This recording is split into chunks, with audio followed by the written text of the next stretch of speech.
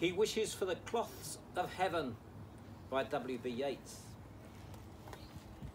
Had I the heavens embroidered cloths, enwrought with golden and silver light, the blue and the dim and the dark cloths of night and light and the half light, I would spread the cloths under your feet.